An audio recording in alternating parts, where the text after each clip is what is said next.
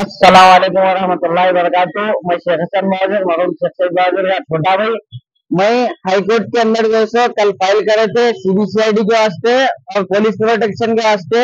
हमारे senior advocate Raghunath साहब है, फरहान खान एडवोकेट है, दोनों एडवोकेट थे। और एडवोकेट भी है इसके साथ। दो जनों के नाम बोल रहा हूँ, और एडवोकेट है। वकील साहब को टाइम न मिलने की वजह से बहुत देर हो गया, मगर वकील साहब ठहरते कि अल्लाह का शुक्र है। जज साहब जो सो पुलिस प्रोटेक्शन का ऑर्डर दे दिए पुलिस प्रोटेक्शन बोल के सीबीसीआईडी को पुलिस की दो हफ़्ते का टाइम दिए इंक्वायरी जो पुलिस करे हुए इंक्वायरी दो हफ़्ते का टाइम दिए जज साहब के जज साहब को पहुँचाने के वास्ते। जज साहब, उसके बाद सीबीसीआईडी को भी जाएँगे के मैं शुक्र गुजार हूँ, वकील साहब का हमारे जो सीनियर एडवोकेट है ह्यूमन राइट्स के सीनियर एडवोकेट है, मैं अपना कीमती वक्त जो निकाल के मेरे वास्ते आए यहाँ पे वकील साहब, आके जो सो अपना काम कर, मेरे वास्ते आके आर्गुमेंट करके चले गए आना बस वही था मेरे वास्ते, उन्होंने आके अपना काम करके चले गए।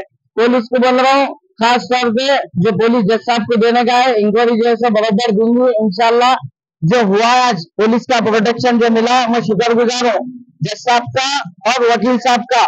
और जो हाई कोर्ट, सुप्रीम कोर्ट में जो बेल कैंसिल को डाले हैं इनशाला थोड़े दिन में उसका भी फैसला आएगा। और चार जनों की जो डालने वाला उसका भी फैसला आएगा। जेन जेन कातिला बरोबर फिर से जेल को भी जाऊँगा इन लोगों को। इन लोग समझे, केस हो गया, खत्म है गरीब है, कुछ भी नहीं कर सकता इंशाला फिर से जेल को भी जाऊँगा, अल्लाह मेरे साथ है। जालिमा जैसे जुल्म करना तैयार है, अल्लाह ताला मेरे साथ है, इसीलिए अल्लाह का शुक्र अब तक कुछ भी नहीं हुआ। परसों के केस में एग्लामेंट दिया एफ़ आई आर आज तक नहीं मिली उसकी पुलिस क्या कर? रही जब पुलिस जैसे तेलंगाना हुकूमत जैसे केसीआर की हुकूमत थी पुलिस कुछ भी नहीं करी। कांग्रेस हुकूमत गई तो अभी भी पुलिस एक काम करेंगी पुराना पुलिस का।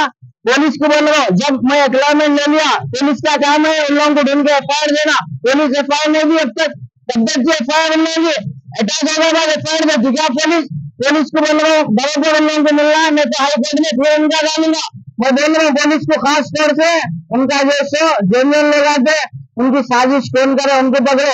जो रमज़ान ग्राउंड के अंदर लगा उनकी साजिश करने वालों की पुलिस को बोलो पकड़ने वालों को जो पैसा है वो बुक करो कानूनी तौर पे अगर पुलिस इससे पहले एफ़ आई आर जैसे नहीं देना इस्लामिक नहीं देने को अगर पुलिस इसमें अगर उन लोगों को छोड़ देंगी तो फिर से कुछ भी होता है इसकी जिम्मेदार पुलिस रही। शुक्रिया खुदा जी। हाईकोर्ट के अंदर ये सो मैं कोई लॉ से मैं केस लड़ रहा हूँ बोल के मैं कोई लोग जैसे टॉर्चर कर रही तो इसीलिए मैं हाईकोर्ट में ऑर्डर क्या मिला आपको? पुलिस पुलिस प्रोटेक्शन दिए जज साहब जो सो शाम पाँच बजे तक जैसे ऑर्डर आ जाएगा इंशाला ऑर्डर दे दिए जज साहब। सीबीसीआईडी के वास्ते दो हफ्तों का टाइम दिए। अगर दो हफ्तों में पुलिस नहीं दूँगी तो सीबीसीआईडी को केस चल जाएगा अल्लाह का सुप्रीम कोर्ट में छब्बीस तारीख की डेट बता रही। छब्बीस तारीख। साथ भी मेरे भी घर के पास भी रहेंगे दोनों पूना मैडम बोल के।